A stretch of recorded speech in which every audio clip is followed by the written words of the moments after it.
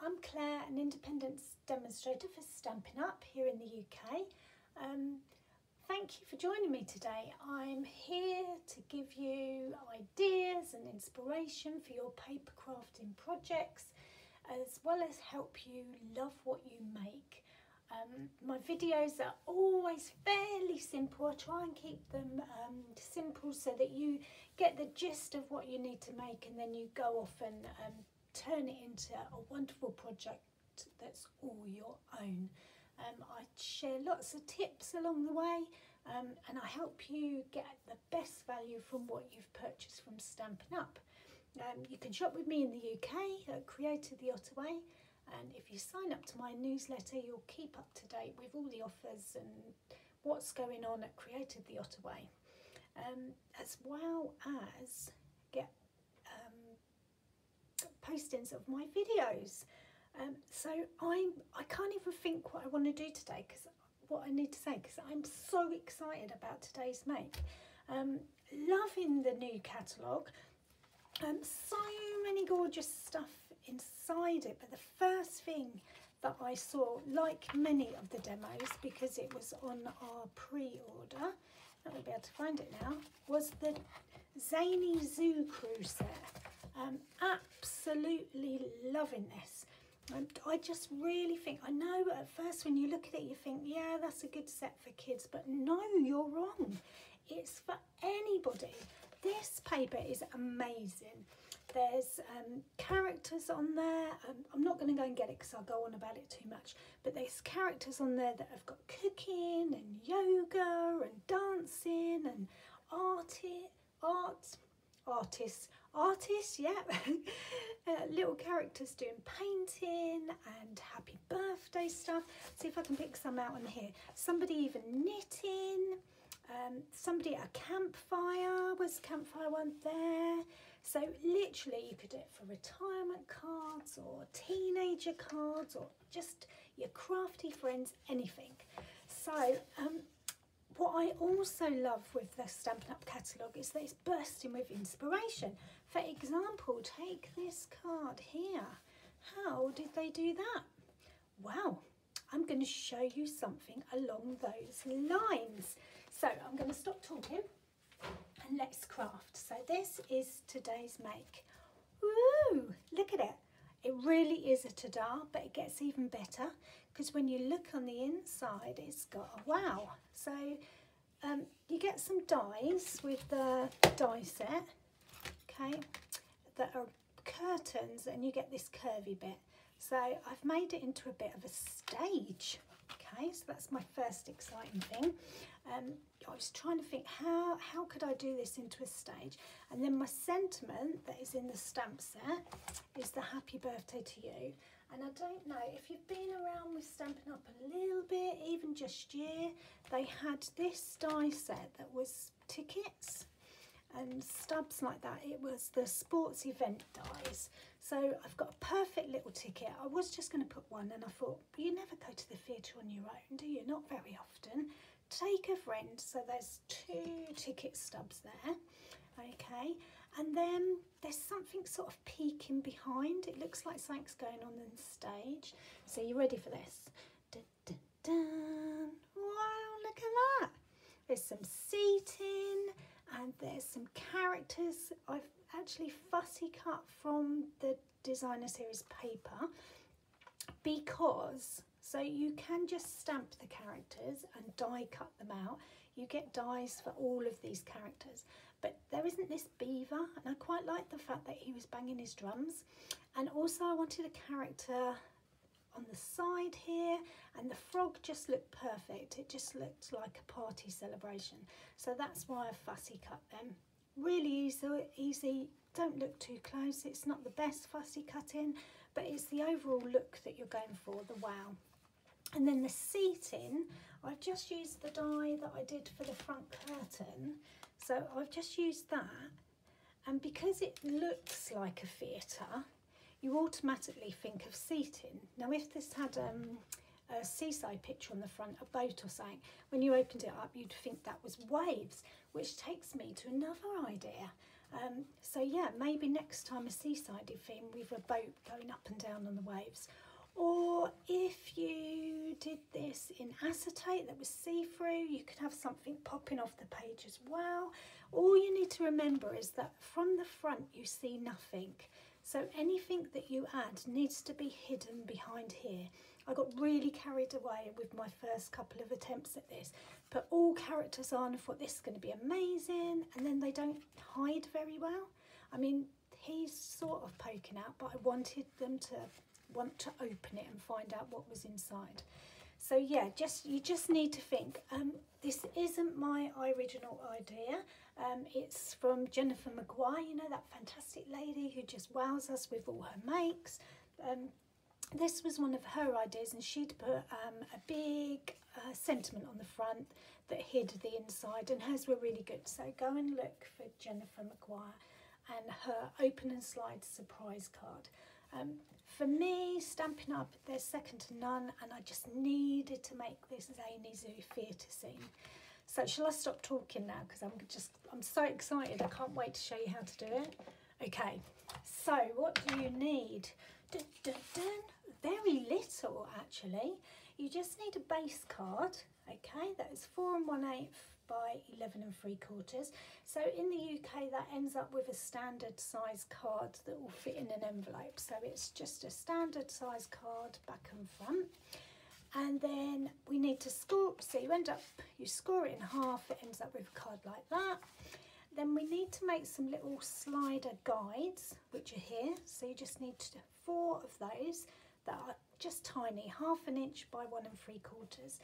And then of course you need to make this slider bit, which actually is just a piece that is three inches wide by five and five eighths.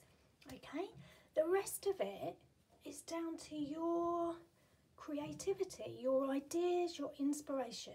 Whether you put DSP on the front, whether you do the theatre um, scene like I have, whether you do a magic scene, I don't know, all sorts of things. You turn it into your own make, but you just need those few basic things to get you started.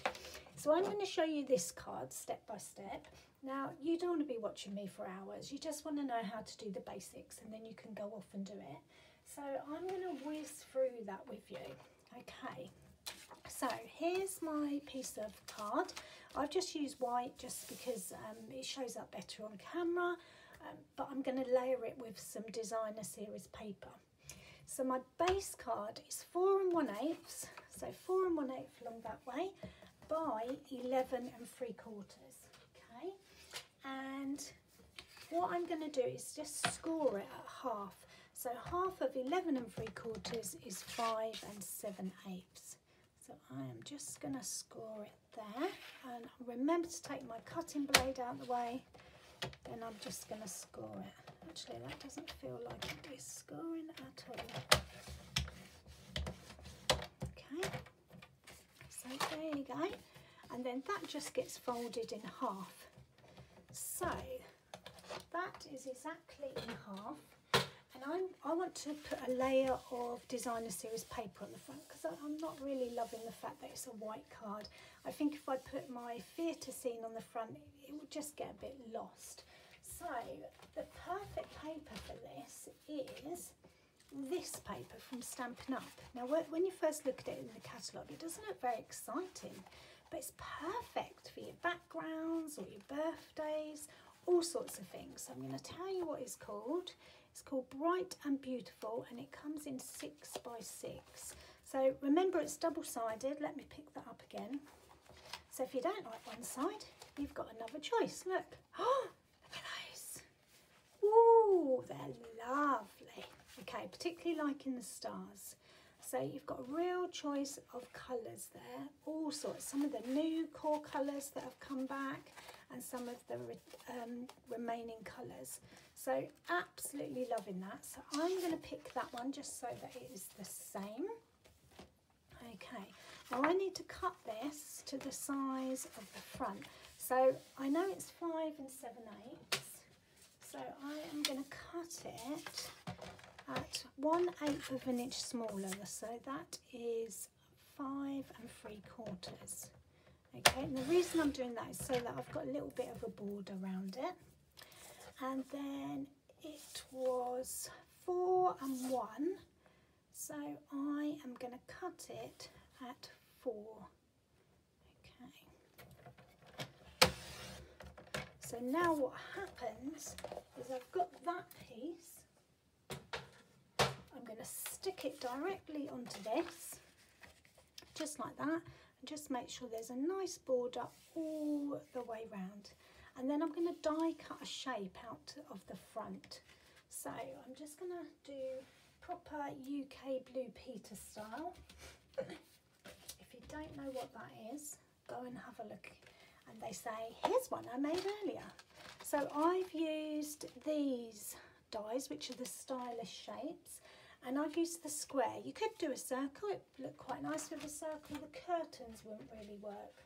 So I've used that and my paper is stuck on nice and firm.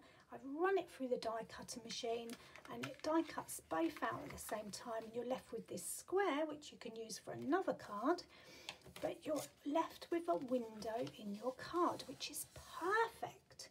Okay, now I can hear you shouting at the screen because I would be doing the same. Where? How do you know where to put it?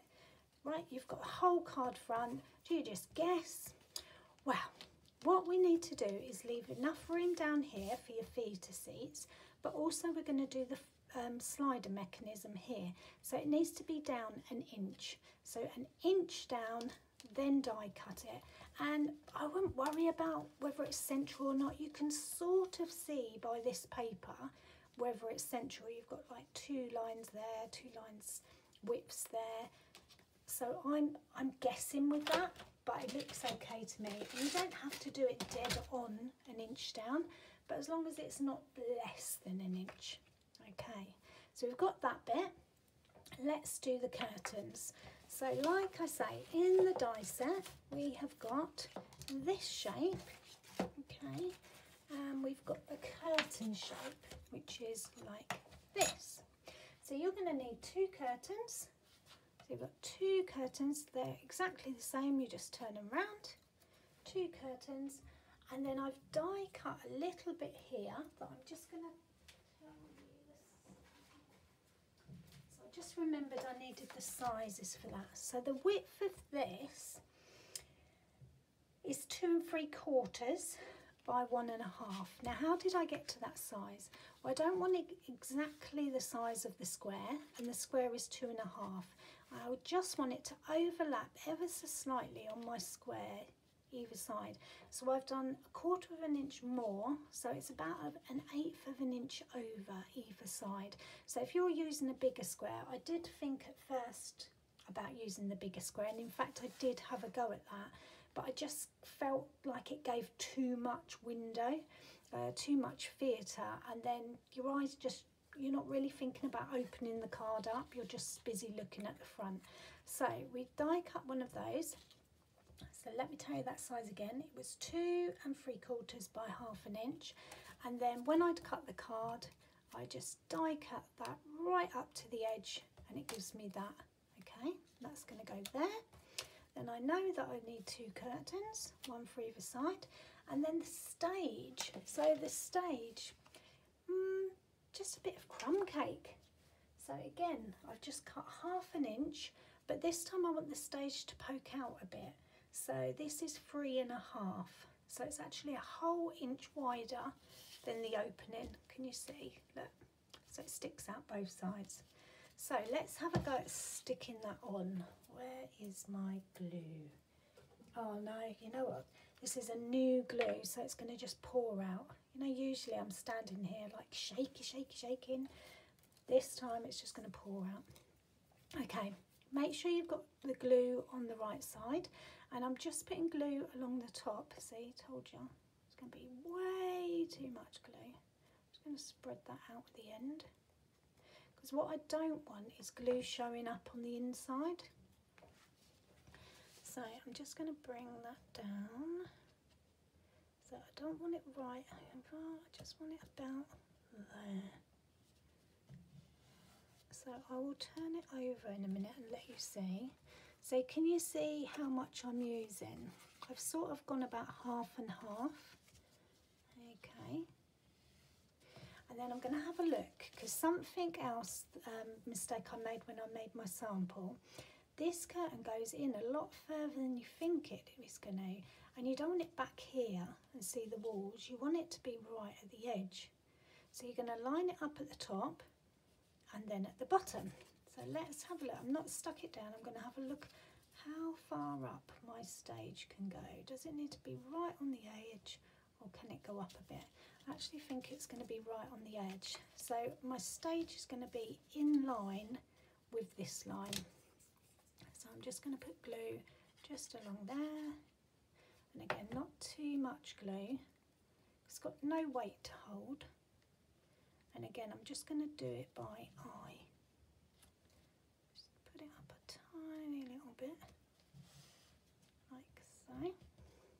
And then my curtains are going to be either side. And I'm going to put glue along the top.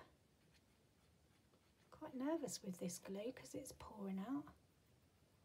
You watch, by the end of the session, we'd be having to force it out and squeeze it really hard. So I've got glue round three sides and I'm matching up the top because the bottom I want it to overhang and I'm just making sure that it's right at the edge of this about there okay so you can't see the other side and then I'm going to do the same with this one I think I'm going to lay it down and put the glue because it gives me a bit more control. If I'm doing it up in the air, it's just going to flood out. Okay, so the same with this one. I'm going to match it up here. Match it up to the top and the rest will just line itself up. Okay, so there's my curtains. Now I don't usually do the sentiment till the end, but because I'm so excited and I want to go ta-da, I'm going to do it now. So I have got two tickets, one in Pretty Peacock, which I love, and one in white. Obviously we're going to stamp on the white. So let's get the Pretty Peacock open. And see how straight I can stamp. Maybe if I do it sideways, be able to see. Okay. Oh. Okay. And I am going to put some glue on the back there because I'm just going to overlap those two together so it looks like they're two tickets and then I'm going to use a couple of dimensionals on the back of there. Did I bring those in?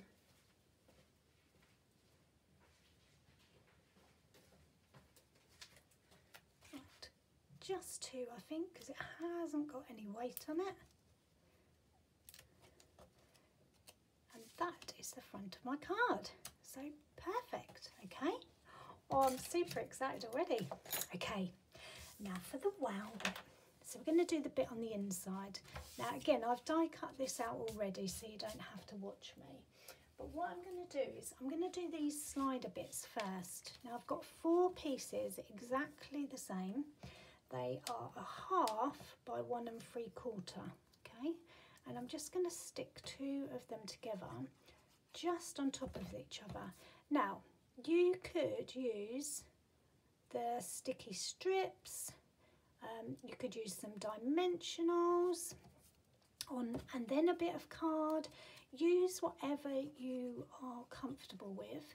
I didn't want such a fat card that I wouldn't be able to post it. So what I've done is just used cardboard because it's just enough thickness. So I've joined two together and now I'm going to put them put some glue on there just make sure you can see I'm going to put one on this side and one on this side right in the corner level with the bottom and the side Okay, just like that. And then one for the other side. This would look lovely with a, a, a boat scene, wouldn't it? Really thinking that I want to go and make a boat on next. So that you've just got those, you've got your card and you've got your two sliders there. Now the next bit we're going to do is the sliding action there. So I've got that prepared here earlier as well. So this piece is five and five eighths by three and how I came to that was it's not quite the length of this it's going to have a score line in a minute as well because it needs to fold over. So it's five and five eighths by three and on that long side we're going to score it at three quarters. So I just need to make sure I've got my scorer and not my cutter. Oh so noisy. Okay and I'm going to fold that over so can you see that? That's what I've got. Now on mine I liked having a background piece because it looks like there's something coming. It makes you it entices you to open the card basically. So I've covered this piece with some designer series paper. So I have just cut that. Mm, what colour is that? So this was four and seven eighths by two and seven eighths so basically I've just measured the size of this and cut it to eighth of an inch smaller. Oh this is a bit I don't want to look at because I'm covering up some of the characters. Ooh, doesn't matter. The card's worth it. So that is just going to go on there.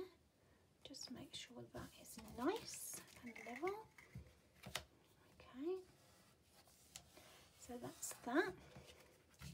Bring it back over make sure it slots in between my sliders.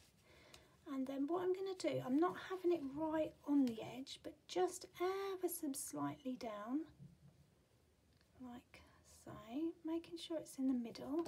And on this scored bit that's got no DSP I'm just putting some glue. And then I'm going to bring it over and press down on it just like that. Okay. And then are you ready? Let's see if it works. Okay so yes it definitely works. It pings up at the moment because we haven't done the seating. Okay we're going to do that next. So that definitely works. Seating how did we do the seating? Okay I picked out a colour from the front and again I die cut it with that curvy die. This one and I've got three rows of seating on mine because what you want to do is make sure that the seating doesn't show because the stage is there the seating would be there. So you want the seating hidden behind so I can only come up as high as this level here okay? So this one is two and a half inches this one is two inches and this one is one and a half so what we're going to do and then I just die cut along one edge. So we're going to stick those together. If you wanted to make them stand out even more you could do a bit of blending brush along the curvy edge and that would just make the seats stand out a little bit more but I'm not I want the focus to be on my characters. So that's that one. And then this one is going to go on the next one Know you are going to make some amazing cards with this design. I cannot wait to see them. Okay, that's that one. So you can just about see the, oh, oh, look what I've done. Oh, it won't be, it won't matter. Can you see what I've done? So I've stuck it the wrong side round. So my middle one doesn't stand out as the other two because it hasn't got the die cut edge. I wonder if I put that back through the die cut, whether it would cut through it all, or if it give me an edge. Right, I'm just going to leave it because the only person that's going to know is me and you, so don't tell. Okay, now to put the seating on there, I've got my three seats together. on those little tabs, put some glue just on those tabs. Okay, that side that side. Make sure that is down. Make sure that this goes right to the edge of your card and fits in lovely. So I didn't tell you that these are four and one eighth of an inch wide. So two and a half by four and one eighth, two by four and one eighth, and one and a half by um, four and one eighth. So now let's have a look. See, it doesn't come out the end, it slides up and down. Right, characters. Ooh. Okay, so we've got a couple of things left to do. We're going to put something great to celebrate you. Now, ideally I'd want it underneath, but actually I'm going to put it there because then you can really read it. Otherwise I'm trying to stick too much behind the hidden seating. That is going to go down the bottom. Okay, and it looks really nice. There. Now, oh, how do we get these to sit in? So we're going to concentrate on the beaver. Let's concentrate on the beaver. Now, I like the fact that he's sort of peeking out behind the card. So what I'm going to do is bring this out for now. just going to unpick it there. And I'm going to put the beaver somewhere. So I'm closing the window and I want to see where he is. Okay, so he's about there. So when I lift it up, where is he? He's there. So let's put some glue on the back of him there. Because we'll have a bit of a wiggle room with Tombow. Now I'm using glue rather than a dimensional. Let's have a look again. And I also need to make sure that his tail is not sticking out the card. So let's have a look. Yeah. So he's there. I'm just going to tuck him in ever so slightly. Okay. So he's there. And that will give me a guide where I can put the other two. So I'm going to tuck that back in now, like so. Make sure that he goes behind, like that. Okay. And now I'm going to put these on. So he's going to be slightly towards the back because he's over this side. Where does that come down? So right where his hands are. So I want him hidden. So his little googly eyes are there, like so.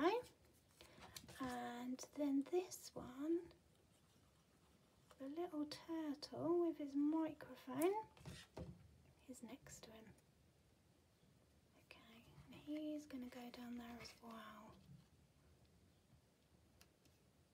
So he's playing the drums, he's singing, he's playing the flute or the recorder. And I think that is it.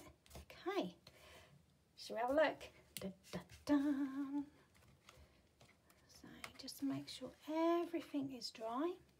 And you go, ta-da, look what I've made. It's a happy birthday to you. But look inside. Ta-da! Okay, so I hope you have loved crafting along with me. Um, I might just trim that off so it tucks in each time, just that extra little tab, not the actual tail. Um, it looks exciting. It looks like there's something inside to have a look at. Really like the tickets on the front. The seating is exciting. So go, go make your own and share it with me. Um, you can send me a picture at createtheottaway at gmail.com or find me on Instagram or Facebook under Created the Ottaway. Um, love to see your makes as well as my own. Um, subscribe to my newsletter and subscribe to this channel and keep watching. Thanks for watching. Bye.